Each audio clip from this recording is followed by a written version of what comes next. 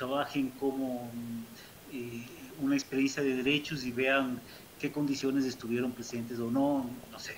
La dramatización es otro recurso potente, pero hay que sacarle siempre el jugo a la dramatización. Eh, las reflexiones individuales, es decir, siempre alguna técnica, alguna dinámica pedagógica, es más que dinámica, es una técnica pedagógica que nos permita siempre trabajar la temática desde ellos, desde cómo, qué, les pasa a ellos, qué piensan sobre la temática. Luego, ¿no es cierto?, viene el momento de plenaria, recuperamos todo eso, ¿no es cierto?, ordenamos, si son papelotes, uno dice, ok, eh, bueno, el grupo ha ido por acá, el segundo grupo ha trabajado esto, el tercero esto. Entonces, fíjese, de modo general, lo que eh, ustedes han planteado son estas grandes ideas, ¿no? Entonces uno recupera las grandes ideas. Eh, si es dramatizaciones, es otro recurso. A mí me gustan mucho las dramatizaciones. la única cosa que creo es que en las dramatizaciones tenemos que necesitamos tiempo por un lado y por otro lado, no solo tiempo para que hagan las dramatizaciones, sino para para procesar la dramatización, porque la dramatización tiene una riqueza impresionante, porque ahí está, te dicen todo en una dramatización. Entonces, pero necesitas, necesitas mucho tiempo para, para trabajar la dramatización, para que se procese bien. O sea, toda actividad que hacen los, los que les invitas a hacer a los, a los actores no es para que como dice, me decía mi gran amigo Diego Poli, saludo a la bandera, es decir, para qué lindo, qué chévere lo que ha trabajado el grupo, aplausos, y no tomaste en cuenta nada de lo que dijeron. Eso pasa mucho. Qué lindo, pucha, bravo el trabajo grupal. Vamos al segundo trabajo grupal. Wow. No, uno tiene que valerse, sustentarse en lo que salió. Tanto cosas que a uno le sirven para y que coinciden con el discurso que uno quiere posicionar, como también cosas que no coinciden con lo que uno quiere posicionar. Para eso son los trabajos grupales, eh, o, sea, el trabajo desde los actores a través de cualquier dinámica que se use. Eso es fundamental, compañeras, compañeros, porque entonces ahí uno dice en los trabajos grupales, si estamos de comunicación o estamos, qué sé yo, en, en fin, en la comunicación te va a decir, tú llevas un discurso que hay que decir siempre el diálogo. El diálogo no debe agotarse, hay que buscar momentos oportunos. Pero resulta que en un trabajo grupal salió la reflexión de que no, si, si uno tiene que tener un límite, porque si no, ya hay que cerrar las puertas y que el otro aprenda. Digo, estoy inventando. Eso que está planteando ese discurso, a ver, uno cómo lo toma, lo, deja ahí en el aire, lo suelta y ya no. No, ese es, un, ese es una perla, como, o sea, lo que quiero decir es que desde los trabajos de la gente salen perlas, perlas, favorables o desfavorables con el discurso de uno, pero son perlas para, para partir de, eso que saben los, actores o plantean los actores para ir dialogando con lo que uno pone y siempre con preguntas. Uno podría decir, vean, acá este grupo nos ha planteado esto de que si es que ya que, hay que tener límites para la comunicación. Eh, por lo tanto, em, eh, si ya se agota eso, hay que cerrar los canales. Uno más que tomar postura, ahí hay que, uno devuelve al grupo. ¿Qué opina el resto del grupo? ¿No es cierto? Entonces devuelves la pregunta para profundizar en el diálogo, ¿no es cierto? Y ahí uno ve la oportunidad para decir, bueno, yo considero, o el proyecto considera, dependiendo un poco desde dónde está, que más bien hay que alentar la dramatización, perdón, la, comunicación, que hay que más bien buscar los momentos oportunos, que a veces cuando la, comunicación se vuelve tensa, mejor hay que esperar que baje, pero luego que el río de vueltas, digamos, retomar. Entonces uno va siempre sin anular a nadie, sin, sin anular los distintos, las distintas posturas, ¿no es cierto? Eh, en fin. Pero retomando esa, esa perla desfavorable, pero también la favorable, uno puede decir, mira, acá han dicho una cosa, esto, podrían explicarnos mejor. Entonces, devolver siempre para que profundice y uno puede decir, desde mi punto de vista, esto es súper importante lo que dice este grupo, porque ni sé qué, etcétera, etcétera. Entonces, vean, la lógica es eso, ¿no es cierto? Que cada tema sea, tenga este recorrido, una dinámica, un recurso pedagógico bien pensadito, ahí ustedes podrían encontrar uno que les voy como a compartir, que nos permita abordar la temática, ¿no es cierto? abordamos la temática, la gente hace, presenta eso, ya sea como se, se tenga que presentar, pero hay que procesar y hay que partir de eso. Si uno va a un, a un taller de vuelta o no hace eso y, y, y, pone lo de uno, es charla. Pero también lo otro es charla, si es que uno o hace un saludo a la bandera, ¿no? Hace todo el trabajo de grupal, chévere, y después dice, bueno, qué bueno, y uno empieza a decir lo de, lo de uno. La, la, sensación que deja uno, primero no partes de la gente, no partes de los aprendizajes de la gente, no hay mediación pedagógica ahí. Eh, entonces, y la otra, la gente queda con la sensación de decir, sí, o sea, nos, entre, nos entretuvimos, digamos, estuvo bien, pero, pero es mucho más potente cuando uno recoge todo eso. El, camino te da luego para, para, ir como teniendo más experticia de, ir uniendo las cosas, en fin, de ir como afinando, leyendo que está bien. Siempre la pregunta, compañeros, porque a veces hay cosas que uno te dicen así, pero te dice, a ver, ¿qué, qué, qué, qué, qué querrá decir esto que está aquí, ¿no es cierto? Tú no puedes decir, vean, acá este grupo ha planteado esto, o en la dramatización, fíjense, se, se observó esto. ¿Qué quería decir el grupo al dramatizar esto? Coméntenos un poco más, por favor. Entonces, ya te expresa, entonces ya uno va sacando más elementos para, ah, ya bueno, entonces miren, ¿Qué, ¿Qué, opina el resto? ¿no? Entonces, siempre devolver, mediar en el diálogo, ¿no? La devolución, la pregunta, son, son estrategias claves para ir generando este, esta, este, este, este, este aprendizaje a partir de lo que sabe la gente. Eh, entonces, el tema, trabajamos eso, partimos de los actores, procesamos y hacemos este otro momento de dialogar con nuestros discursos. A nosotros nos parece que la comunicación tiene que ir por acá, nos parece que hay que alentar esto, eh, la no violencia, dependiendo del tema, ¿no es cierto? Uno va ahí poniendo. Y luego ya para cerrar el tema, lo importante es cerrar siempre, recapitular el, el, trabajo realizado. Miren, en este tema hemos trabajado de esta manera, han surgido estas cosas, así como la síntesis. Las síntesis ayudan como a cerrar el tema, ¿no? Eh, como a, ordenar todo lo que se ha hecho. Eh, trabajamos esta dinámica, han surgido estas cosas, desde los diálogos ha habido esto, han salido estos elementos y, digamos, hemos planteado que nuestras ideas fuerza van por acá, por acá, etcétera, ¿no es cierto? Entonces, si hay otro tema, entonces decir, bueno, miren, ahora hemos trabajado este tema, es parte de un, y siempre inclusive ligar con los objetivos, miren, nuestros objetivos son estos, acuérdense de esta expectativa que ustedes han planteado, entonces miren, hemos trabajado esto y de algún modo ustedes consideran que, se está, que, que, esta expectativa que han planteado se abordó con esto, uno puede poner la pregunta, pero uno siempre está haciendo el hilo con, con los objetivos o con las expectativas de, la, de, las, de los participantes, ¿no? Entonces cierra eso y uno podría decir, bueno, ahora vamos a trabajar esta otra parte del, del, del objetivo a través de esto, ¿no? Que es este otro tema, ¿no? Entonces ingresa el otro tema, siempre el mismo recorrido, obviamente no vamos a hacer la misma dinámica, hay otra dinámica para abordar el tema, ¿no es cierto? Y, y, poder trabajar. Fíjese, digamos, de algún modo, este, este recorrido que nosotros hacemos con ustedes también está presente. Ustedes han visto el video, por ejemplo, y a partir de eso sacaron sus aprendizajes y hay una retroalimentación distinta en la presencialidad. Pero ahí está el foro, los trabajos donde ahí se va como, como devolviendo a partir de ustedes y, el, facilitador dialoga y pone ahí su punto de vista para que ustedes, digamos, también confronten entre lo de ustedes y, lo otro, digamos. Y eh, ese sería como el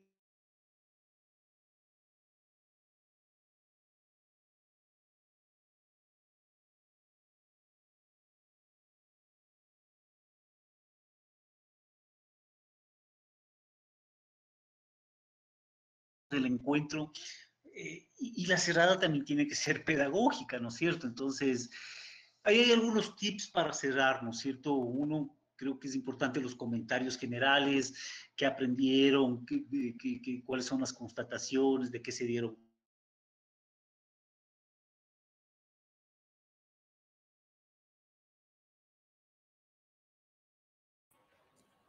Buenas.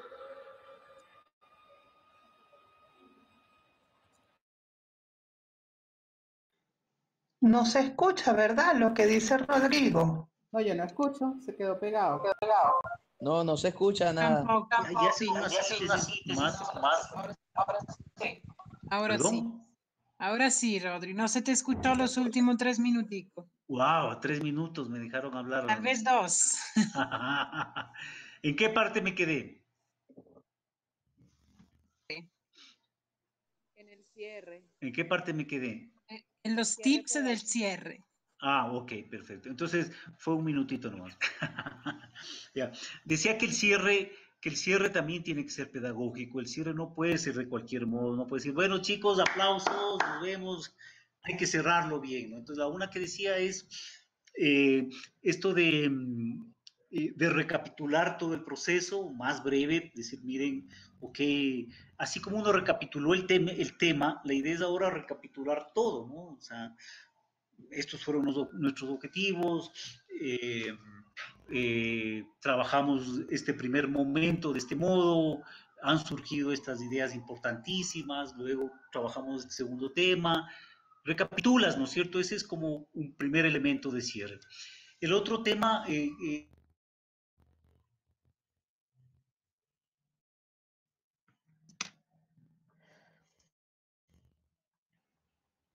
Se volvió a quedar sin audio.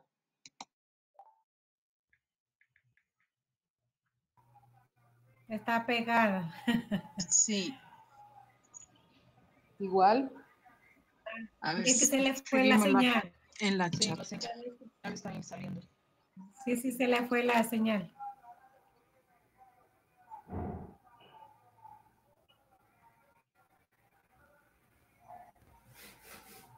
No, yo creo que es un discurso estático.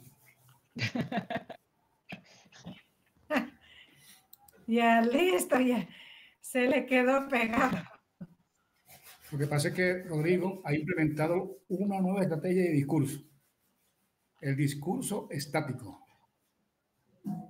Hace refletirse.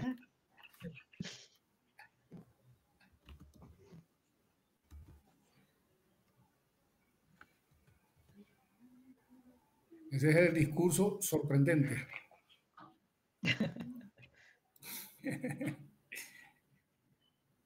Nada, se fue del todo. Ah, no, abajo está. ¿ahí me escuchan? Sí. ¿No será que se está tomando, Sí, sí. Ahora sí. Ok, ok, ok. no será que se está tomando el cafecito virtual? Sí, parece. No, ya se me acabó, ya está frío el cafecito. Es que se le fue la se, se va la señal de él. ok, sí, bueno. Y eso que ahora estoy solo. ¿eh? Ahora sí, ya olía. El internet Yo para mí. Bueno, equipo, Rodrigo, será, será- equipo que ese, que ese es parte de- de- del discurso, un discurso estático. ok. Bueno, cerraba esto del cierre, ¿no es cierto? Como importante recapitular, eso ayuda, da la sensación de, primero reordenar, reordenar ayuda a la gente a reordenar y, y digamos como a, a volver a Es la posicionar, señal, parece que es la señal. volver a, ahí, espérense, espérense un ratito, espérense. Espérense un ratito, voy a, voy a arreglar algo. Sí, no, sí estoy, sí estoy con señal. ¿Ahí me escuchan? Sí, Ya. Sí. Oh, ok, ok. Entonces, eh, eh,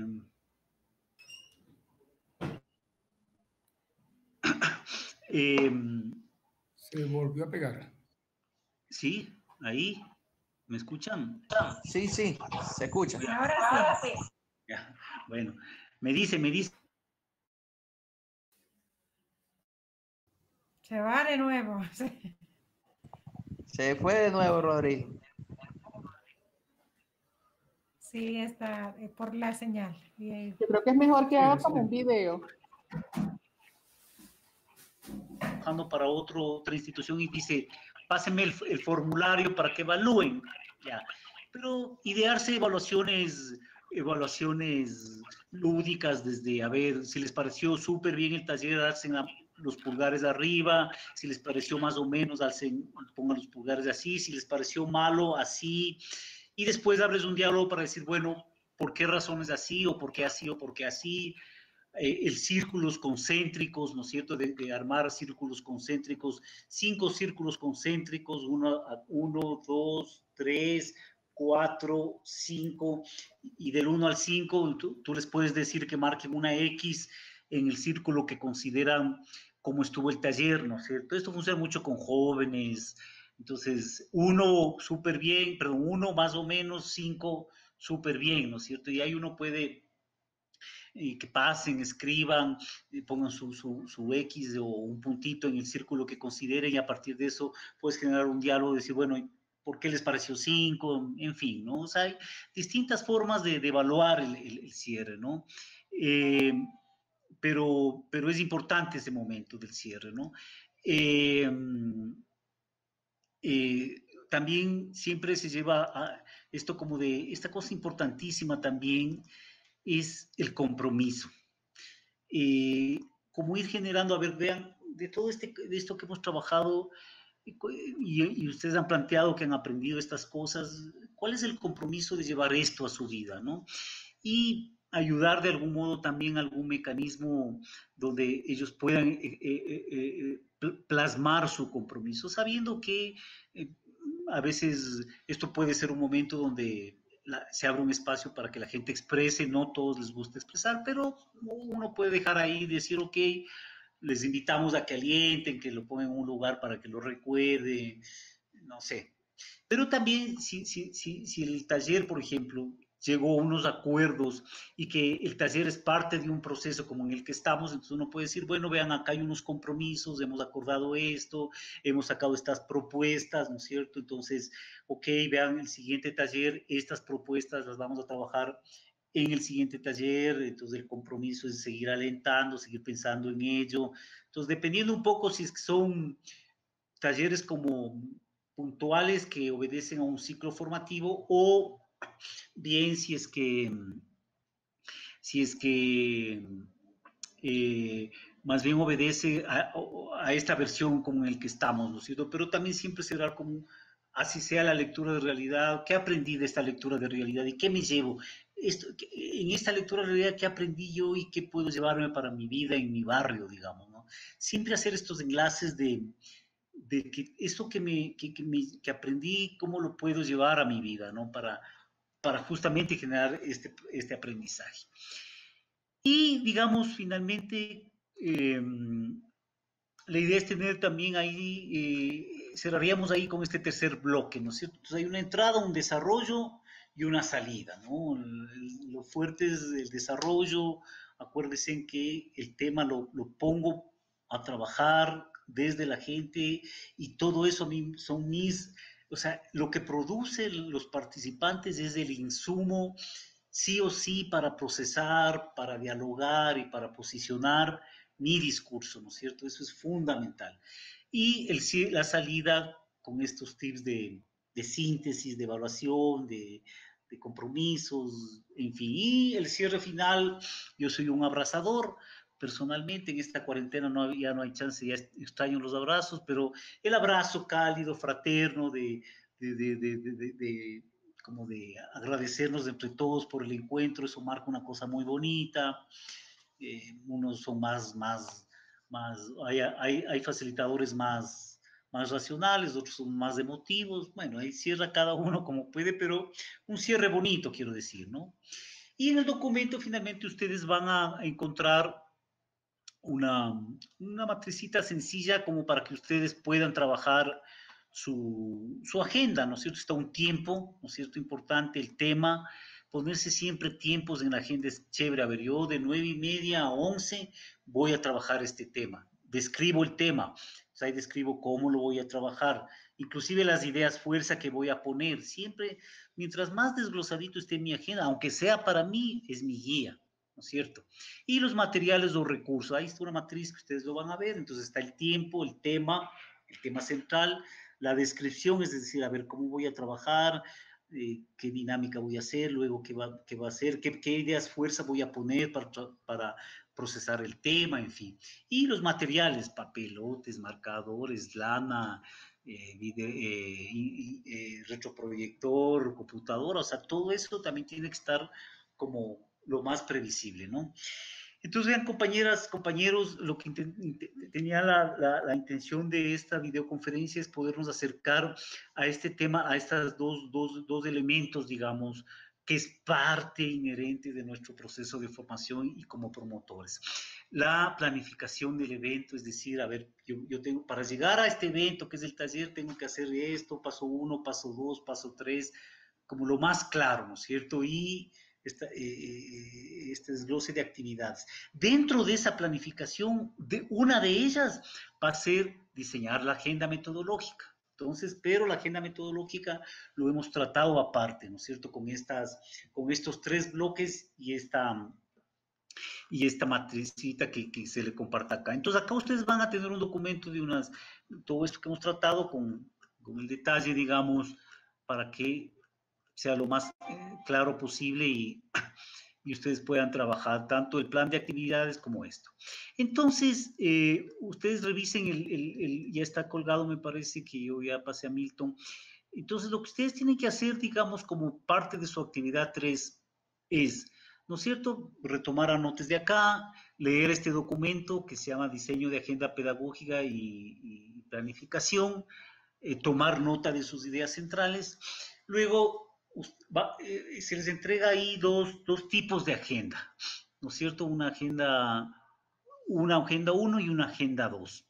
La idea es que ustedes cotejen estas dos agendas, ¿no es cierto? Las comparen y digan cuál de estas dos agendas reúne las características que hemos hablado ahora y, y las que, y que constan en el documento que ustedes van a leer, ¿no? Y que máximo, máximo, en una página, ahí lean por favor indicaciones y recomendaciones de la actividad, ahí está detallado, que máximo en una, eh, eh, eh, una página, máximo, ustedes puedan expresar, digamos, sus argumentos o las razones por las que creen que la Agenda 1 guarda más tiene una estructura pedagógica o la Agenda 2 pero sean, sean bondadosos con los argumentos, ¿no? A ver, yo creo que ah, está así porque tiene esto, tiene este otro, tiene este otro, etcétera, que, que hagamos este ejercicio de identificar por qué cada una de las dos es eso, ¿no es cierto? Luego, a la luz, digamos, de, de este ejercicio, ustedes les vamos a invitar a que trabajen una agenda para trabajar con, con, con los actores comunitarios, un, un tema que ustedes a elección, ¿no es cierto? Y traten de hacer una agenda pequeñita, ¿no es cierto?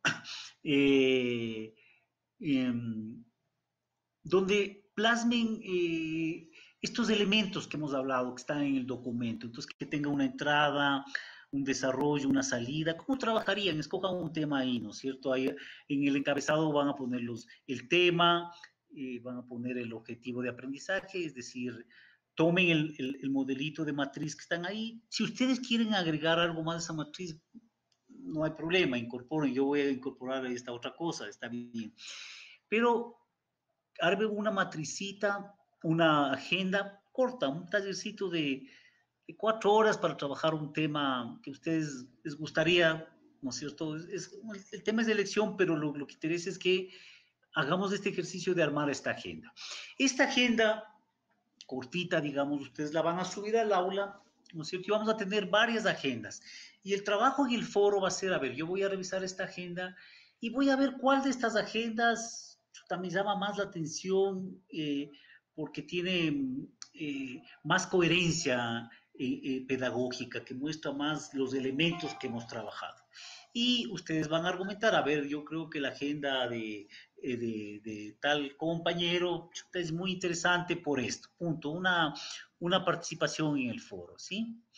Esa sería la, la actividad que tendríamos que hacer a propósito de esto. Comentarios, dudas, inquietudes.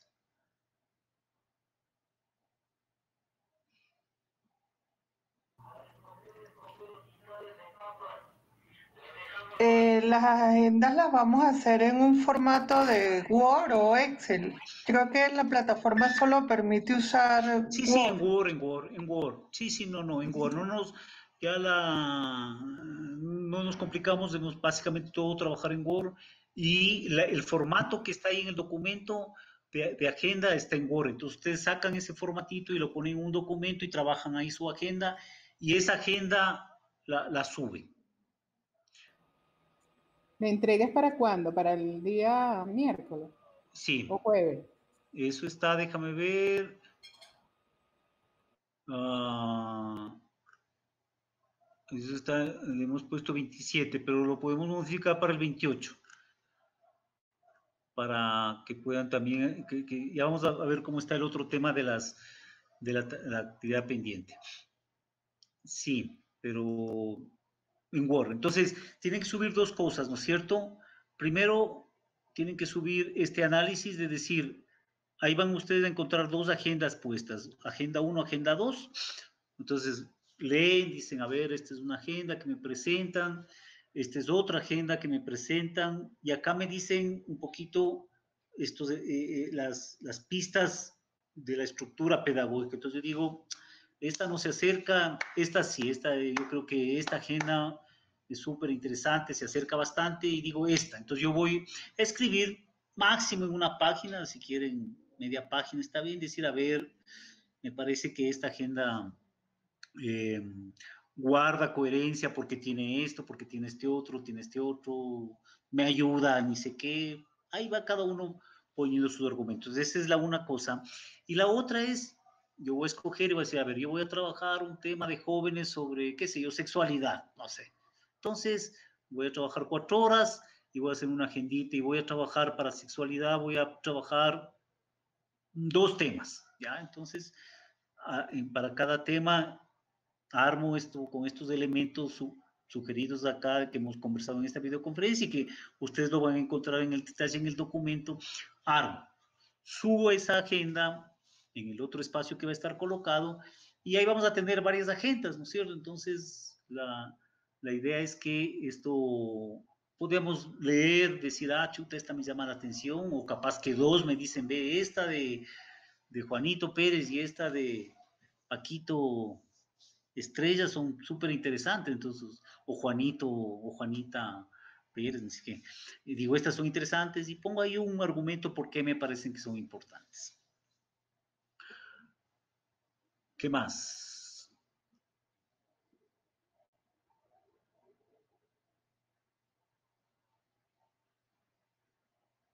¿Algún otro comentario, duda?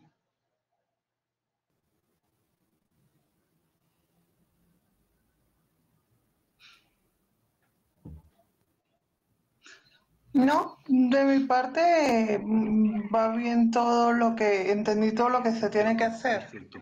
A ver, verán, eh, yo les puse algún- eh, dos cosas. Eh, eh, bueno, muchas gracias por su tiempo. Les puse un anuncio de un mensaje que, mandó Milton a propósito de las evaluaciones de los facilitadores.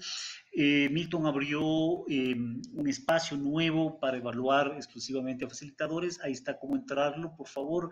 Igual, PLC, digamos, perdón, mis cursos. Y en mis cursos ustedes van a encontrar eh, una cosa que se llama evaluación PLC. Entonces ahí van a estar las evaluaciones exclusivamente en un, en un apartado para que por favor lo puedan ir trabajando eso. Eh, aunque ya algunas personas ya han salido, quería preguntarles, eh, bueno, más bien, yo voy a escribirles personalmente a- por mensaje interno a cada uno por el aula para ver cómo, cómo avanzamos con, con la tarea esta pendiente de la unidad 2, que es propuestas, y ver cada uno eh, eh, cómo avanza con su proceso, a ver si lo está haciendo diferenciado, ya lo hizo, en el caso de Bernal ya lo hizo ayer, entonces, pero en, el caso de otras personas, si es que van a juntar con, con el plan, esto para como tener, tener previsto esto. Entonces yo voy más bien a trabajar a nivel personal, eh, estén atentos que les mando sus mensajes personales y ahí lo vamos como mejor procesando. Sé que tenemos tres tareas, tres tareas pendientes. ¿Cuál? Perdón. Y tendríamos tres tareas pendientes, tres actividades. No, dos nomás, esta, la anterior y esta. Esta de, de- de plan de relacionamiento comunitario y esto. Para los que no sí. podemos trabajar así eh, en esa parte grupal, de hacer actividades, ¿cómo Eh, le damos eh. la vuelta? El de propuestas, dices tú. Claro, ese que estás diciendo que uno tiene que hacer eh, eh, dinámicas y todo eso. Eh, no, no te entendí, Eli. O sea, el, el- el de, el, pendiente, la actividad eh, pendiente de la unidad 2, esto de, de ordenar la información y levantar propuestas, de esta me dices tú. Sí, claro, esa, porque Ya. Eso deja, eso digo, yo te escribo, lo vemos cómo lo trabajamos. Si es que aún no lo has hecho, eh, queda pendiente, entonces déjalo pendiente y lo trabajas junto al, al- al- al encuentro que vas a invitar para armar el plan. Entonces, en esa misma reunión, ayer eso lo dijimos, cuando se presenten estos casos, eh, eh, presentas la información, levantas dos, tres propuestas y a partir de eso, entonces tu encuentro va, a consistir en diseñar el, el plan, digamos, con ellos. Entonces, sería dos en uno ahí, digamos. Entonces, si es que no has alcanzado a hacer esta tarea de propuestas, déjalo pendiente. Entonces, tendrías que hacer solo una, que es esta, esta que estamos cerrando. ok, está bien. pues. Ya. Pero yo les escribo ahí personalmente a su correo y, y vamos ahí coordinándonos más cerquita entre nosotros. Eso. Bueno, con los que estamos, un abrazo fuerte. Eh, más tardecito esto ya se sube a, para los compañeros y compañeras, eh, porque esto se cierra, se procesa, eh, se sube a un formato y luego se sube ya arriba, ¿no? Para que Ya. esté también disponible. Bueno, Muchas buena gracias, tarde. Rodri. A ustedes un abrazo fuerte, descansen, coman rico y Otro seguimos. para ti. Cualquier Chao. cosa que Saludos. Buen Siempre, provecho. por favor, Cualquier cosa, estamos ahí. Un abrazo. Ya, chao.